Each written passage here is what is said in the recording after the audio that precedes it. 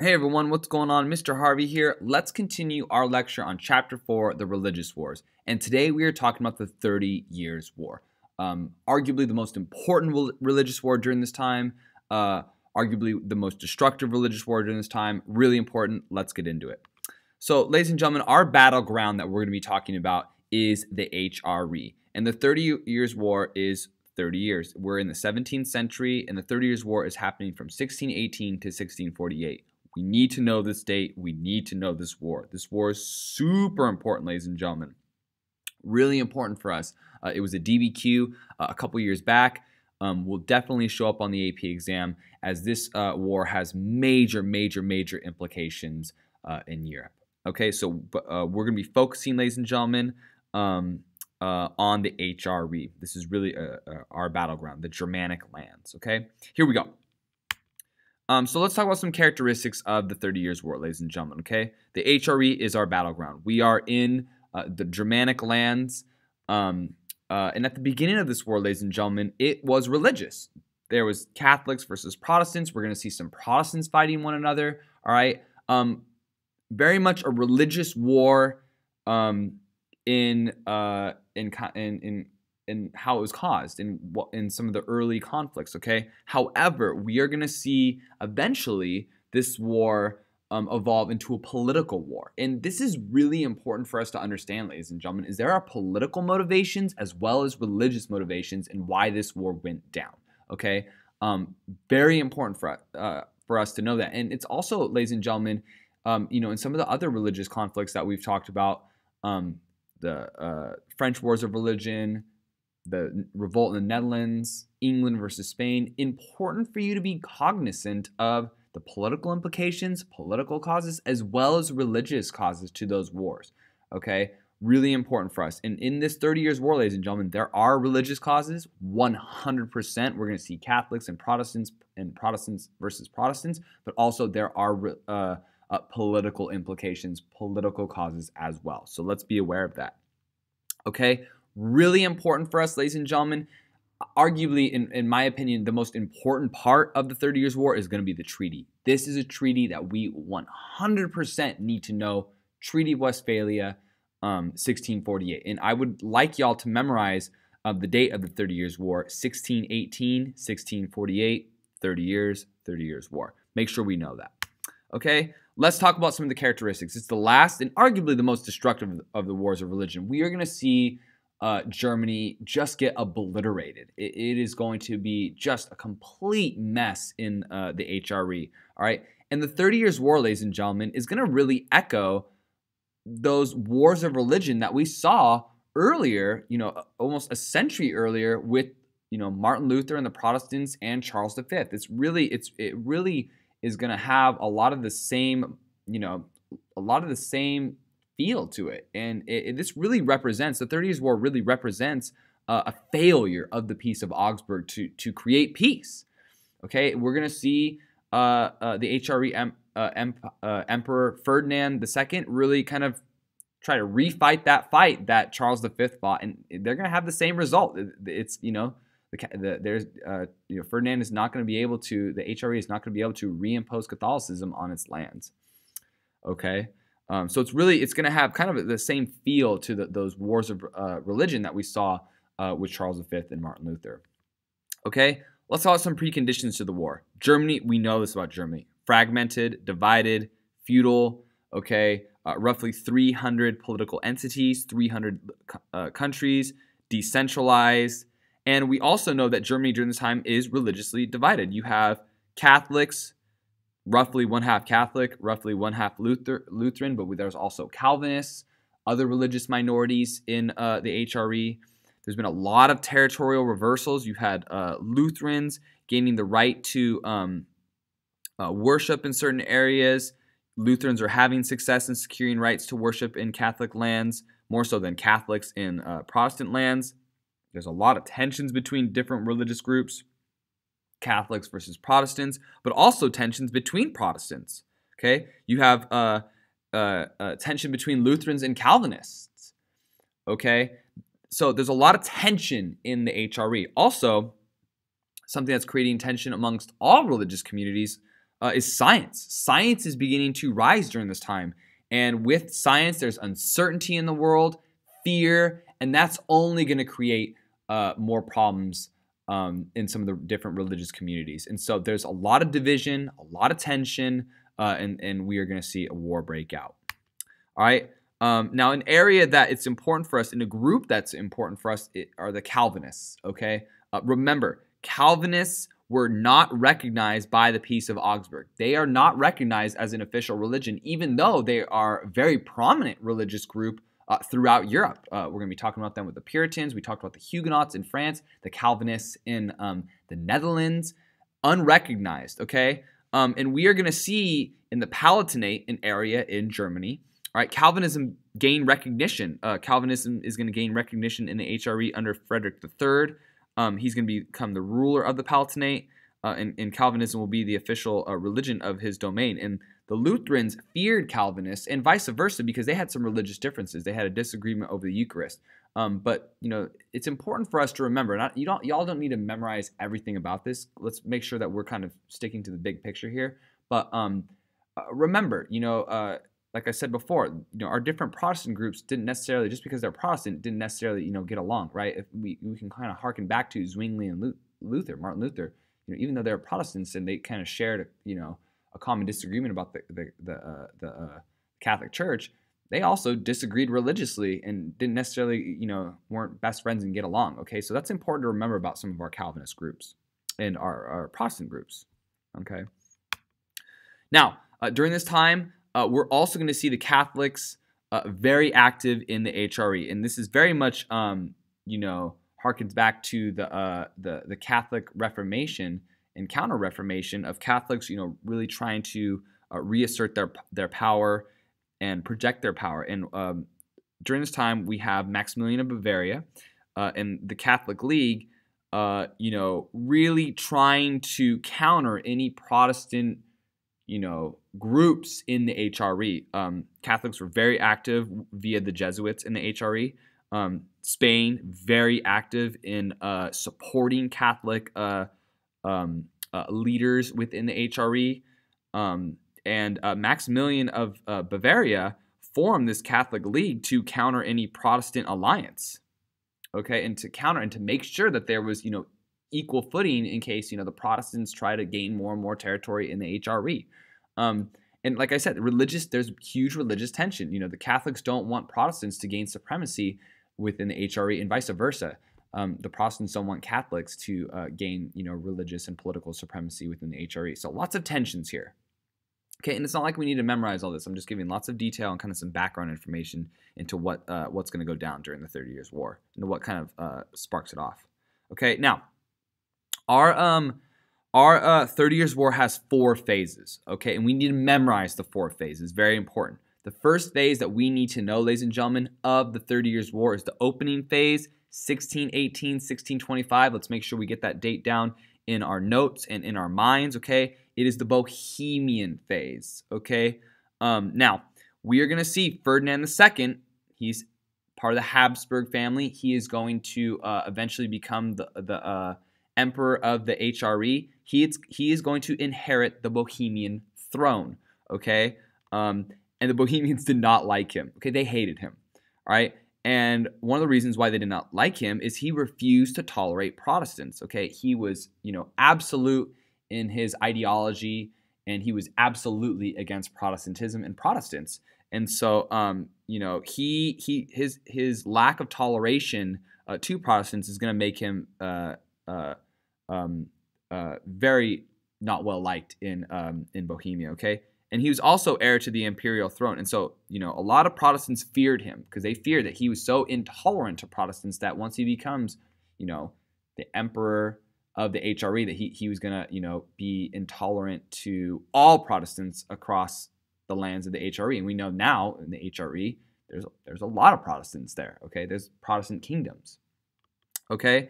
Um, and this was his goal, okay? He wanted to kind of, he wanted to do what Charles V could not, okay? And restore Catholicism to the entirety of the HRE, to traditional Habsburg lands, but he wanted to make the HRE completely Catholic. Okay, to to finish the job that Charles V had kind of failed. And so that was his main goal, and he is going to uh, he's going to start that in Bohemia by revoking the religious freedoms of Bohemian Protestants. And this is going to result in one of the first episodes of violence, very famous, the defenestration of Prague, okay, in May of 1618, where the Protestant nobles in Prague, Bohemia, are going to throw Ferdinand's regents, Catholic regents, out of windows and kill them. And this is where tensions, this is where the violence is going to start, okay, in Bohemia. Now, ladies and gentlemen, when taking notes on this, you don't need to memorize everything. Let's get the basic ideas down, okay? The most important part of the 30 Years' War, excuse me, is the treaty, is the Treaty of Westphalia. So let's kind of get an understanding of the different phases, take, you know, have a general understanding of each phase, but really we we are going to be focusing on the treaty here. Okay? All right, so we have Protestants versus Catholics, Ferdinand, intolerant to Protestants, and we are going to see um, we're going to see fighting break out in Bohemia about that. Okay, and here's a picture of the defenestration of Prague, and you can see uh, the Protestant um, uh, uh, nobles throwing Ferdinand's regents out of windows because they were so upset of him revoking their freedoms and trying to restore Catholicism to the HRE, the defenestration of Prague. All right, so in this Bohemian phase, during this Bohemian phase, Ferdinand II is going to become leader of the HRE. And we're going to see this war quickly escalate not into just a war, a civil war within the HRE, but into an international war. Spain, we know this about Spain, they're going to get involved in this and send troops to Ferdinand and support the Catholics, okay? Um, we're going to see, um, you know, uh, Maximilian and a Lutheran elector join Ferdinand. So wait, hold on, what? We're seeing um, uh, a Lutheran elector join Ferdinand and join the Catholics? Well, okay, part of the problem was, ladies and gentlemen, is remember Lutherans were very much afraid and uh, suspicious and uh, uh of Calvinists, and so we're going to see, you know, even Protestants getting involved in this and fighting against other Protestants. All right, Maximilian, um, you know, he wanted um, more power, wh- whereas the Lutheran elector wanted land. Okay, but also feared um, his rival Protestant groups, the Calvinists. All right. Um, important for us, ladies and gentlemen, to know that Bohemia is, um, you know, going to uh, depose of uh, Ferdinand, and you know, they're they're going to be like, "You're not our king anymore," and they're going to name um, uh, Frederick V their king. But the instability, ladies and gentlemen, okay, and and, and this this is quickly going to escalate into this major international conflict, okay. Um, so uh, what started out as kind of you know a conflict between Protestants and Catholics within the HRE is quickly escalating into this bigger and bigger war. All right, uh, and this rebellion in Bohemia is going to quickly is going to inspire other other areas, um, you know, to kind of fight back against Ferdinand as well. Okay, so here's kind of like the Bohemian phase. A lot of our fighting is right here in Bohemia, Prague, an important city there. Okay, and this is kind of where um, we are seeing the fighting start, and this is that first phase. Okay, here's Bavaria. All right, so some of our important areas. Let's move on. Second phase, ladies and gentlemen, the Danish phase. All right, the Danish phase. Let's kind of go through this Danish phase and understand what goes down. All right, so um, you know, there's a lot of fear, ladies and gentlemen, in the HRE of this re uh, Catholic uh, Catholicization by Ferdinand II, and that was his goal. Okay, and so we are going to see, you know, Lutheran countries get involved not only to support the Lutherans in the HRE, but also political reasons as well to gain with this instability in the HRE to gain some territory and political power. And one such um, nation are uh, is uh, is Denmark with the Danes. Okay, and King Christian uh, the Fourth. He's gonna um, he is going to uh, you know try to extend Danish influence over some of the uh, uh, coastal towns in northern HRE. Um, you know, also try to help the Protestants, and he's trying to seize the opportunity here to gain more and more power. Now he's going to be defeated um, uh, but you know, again, this is quickly escalating into a huge, huge conflict with some major European powers are getting involved. You've already seen Spain get involved. Denmark's going to be getting involved. We're going to see more and more countries get involved as well. Okay. Now Ferdinand is going to try to end all resistance, um, and he's going to try to you know to just destroy um, uh, the Protestant Northern Holy uh, Roman Empire. And one of his kind of secret weapons that he's going to be using is this mercenary, okay? And his name is Wallenstein. Let's highlight Wallenstein. Okay, Wallenstein was ambitious, he was ruthless, and he was a Protestant. Okay, and he simply wanted title and he wanted money from this. But one of the problems was is Ferdinand could not control Wallenstein. So Wallenstein is just going to go up, destroy the Protestants in a brutal and ruthless fashion. Um, and um, and defeat the Protestants. But Ferdinand is not going to be able to really necessarily control him, and that's going to be a big problem between the two of them. Okay, so this Danish phase where we see Denmark, the Danes get involved. Okay, and the Protestants are losing. Okay, all right. Kind of at the end of this Danish phase, ladies and gentlemen, we're going to see a really important um, uh, document be produced, an edict, a law called the Edict of Restitution. And it is going to restore to Catholics all lands lost since 1552, since those uh, wars of Charles V and Martin Luther. All right, and it's going to deprive all Protestants except Lutherans of their religious and political rights. Okay, so it is taking rights away from numerous Protestant groups. Okay, also going to reaffirm the illegality of Calvinism. Okay, so the Protestants are clearly losing in the first couple phases Bohemian phase and Danish phase. All right, and this Edict of Restitution, okay, again, trying to, in starting the process of re Catholicizing all of the HRE.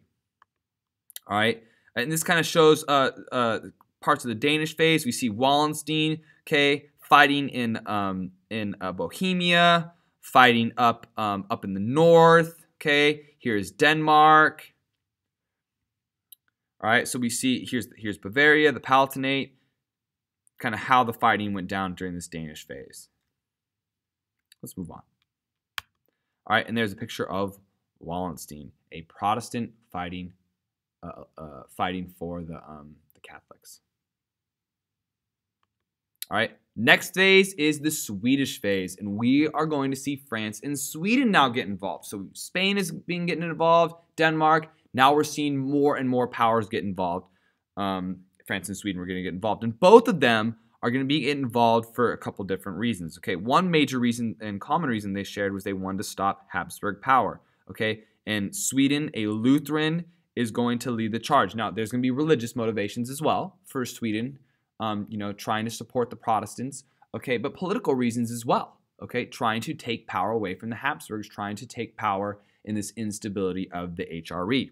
And we know why, and we know why uh, France is going to get involved, and we'll, kind of remind ourselves that a little bit later and review that. But France is going to get involved too because hey, Germany's fighting. Let, let's keep the fight going. Let's let's make sure let's make sure there's instability in Germany because we don't want a united Germany. We know that about them. Netherlands going to get involved and provide sports to the uh, provide uh, support to the Protestants uh, as well. Okay, uh, and we know why France is going to be providing support for those political reasons. Okay, to keep Germany divided, Habsburgs tied down, make sure there is no united Germany. We know that is a fundamental um, foreign policy objective for the French. Okay. All right. Now, the leader of Sweden during this time, really important for us to know, Gustavus Adolphus II. Um, he's going to invade the HR uh, HRE, um, and Ferdinand's going to bring back Wallenstein to to uh, to deal with Gustavus Adolphus. Okay, and we are going to see the Swedish the, uh, the Swedish army be stopped. Um, um, uh, the German princes are going to be in fear of Ferdinand. Um, uh, Wallenstein is going to be very successful, um, and we're going to see you know Ferdinand actually get Wallenstein killed because you know, Ferdinand II is looking at this situation saying, like, look, you know, if I, you know, I am defeating the Protestants in, you know, I'm defeating the Protestant countries, but, you know, I, I cannot just wipe out the entirety of all of the North HRE. I need to try to get these, you know, leaders back on my side. And so one of the ways that he's trying to get the trust of the German princes and hopefully in, in his hopes of re-Catholicizing the North um, is, you know, getting those German princes on his side. And so he's going to have Wallenstein uh, killed. And another reason why is because Wallenstein, he, he couldn't control him. Um, so Wallenstein is going to be assassinated to appease the German princes, okay?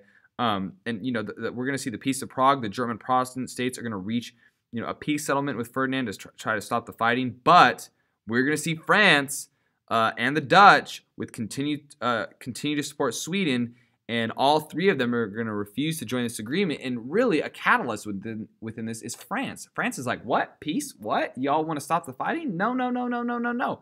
No, no, no.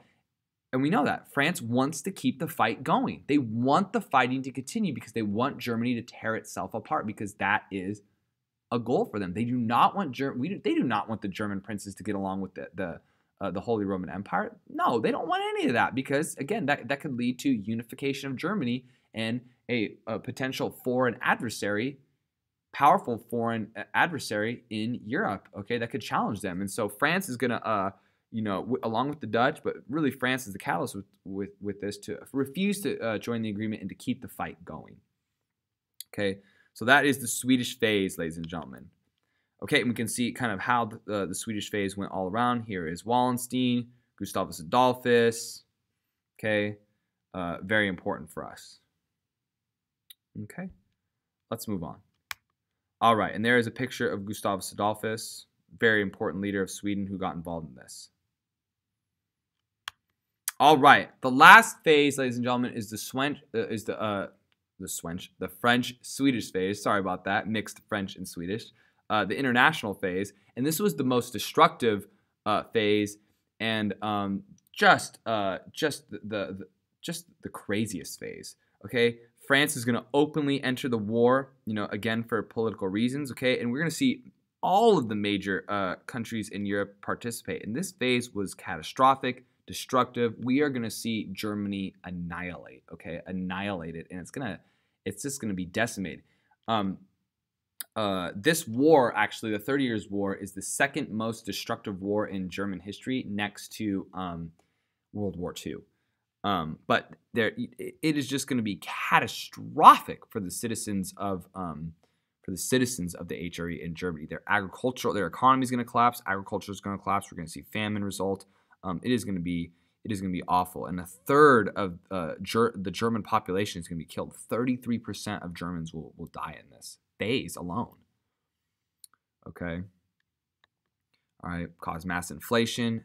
Terrible terrible, terrible phase for the uh, for the HRE. Okay, it's going to cripple the uh, the trade uh, trade routes of Europe. Okay, it is just going to be an all out fist fight in um, in Europe. Okay, and here's a quick uh, picture that illustrates the the percentage of population loss in Germany. Look at the north, ladies and gentlemen.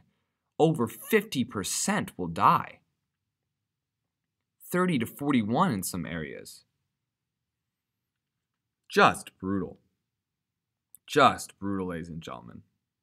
Okay. All right. So let's talk about the Treaty of Westphalia after this uh, this international phase, the um, the Swedish French phase. Okay, and remember we need to know our phases. Okay, of the uh, of the Thirty Years' War. Please let's remember our four phases. All right, um, but the Treaty of Westphalia is equally important for us. Okay, so let's go through the major provisions of the Treaty of Westphalia. Okay, politically super important. Okay, each German prince is going to become free of any kind of control by the Holy Roman Emperor. All right. German territory is going to become sovereign and be able to rule themselves. All right. Really important for us, ladies and gentlemen. We see the Netherlands become officially independent, officially recognized in Europe. Very, very, very important. The southern part, current day Belgium, will re- remain a Spanish possession, but that we now have our united provinces of the Netherlands. Okay, are are uh, uh, recognized. Okay, um, France is going to receive uh, uh, most of this uh, German-speaking province of Alsace. Very important for us, ladies and gentlemen. Okay, Alsace and Lorraine.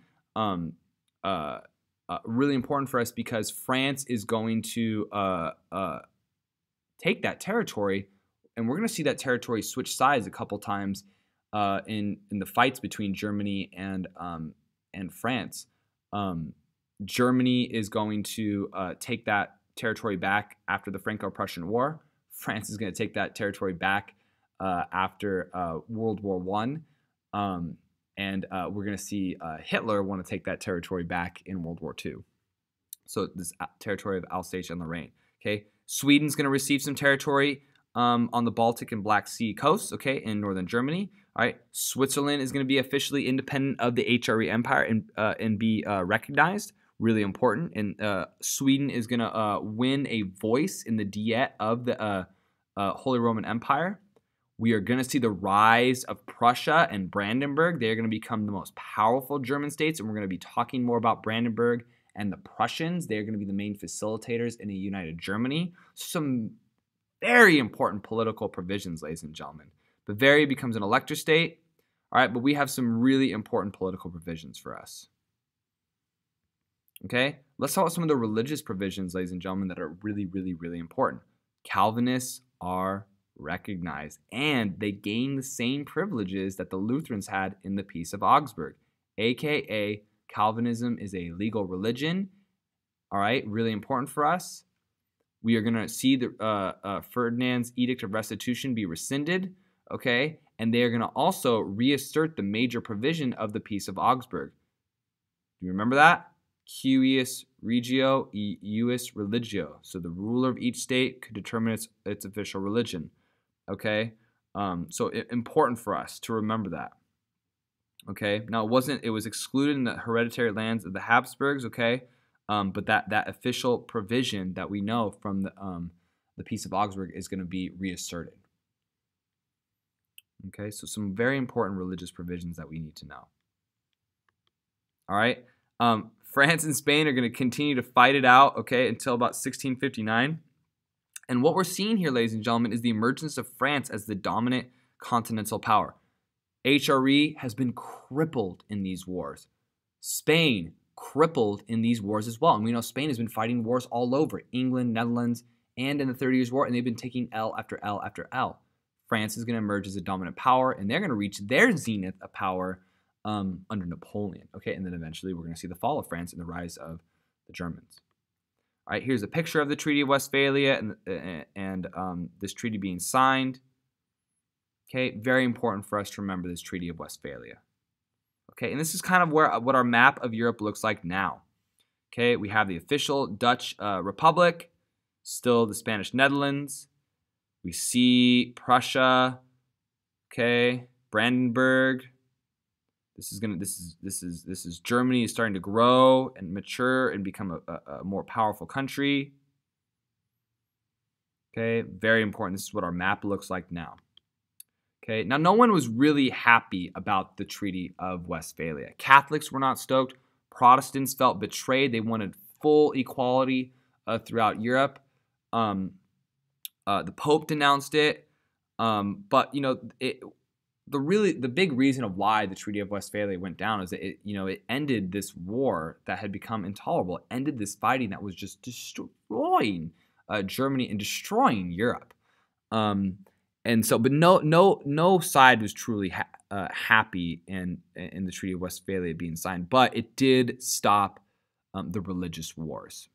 Okay, um, and uh, you know over the next few centuries, this war um, and the treaty is going to be blamed for a lot of the things that go wrong in Central Europe. And we are definitely going to see a lot of instability and a lot of chaos in Central Europe after um, the Treaty of Westphalia and during the late 1600s and 1700s. Okay. All right, let's talk about the results of the Thirty Years' War, ladies and gentlemen. Okay. Um, really important for us that Germany is devastated. Germany is not unified. Check that for the French. They are stoked. Okay um, ended our wars of religion. Really, really important. We are seeing, ladies and gentlemen, the rise of the Dutch. We're going to see the Dutch. They've they're free now from Spain. Really important, really powerful. Um, uh, th- this is going to be the beginning of France's ascension to a dominant position of power within the European continent. They are going to be the dominant power, all right, and we're going to see them kind of reach the apex of that power with Napoleon, all right. And we have seen the weakening of the Habsburg family. Spain taking a huge loss, and we've covered that, but also in the HRE as well. The HRE just got torn apart, okay, and annihilated in the Thirty Years' War. So the Habsburg family has lost lots of power, and we're going to see the Habsburg family uh, continue to lose power as we go throughout history. Okay.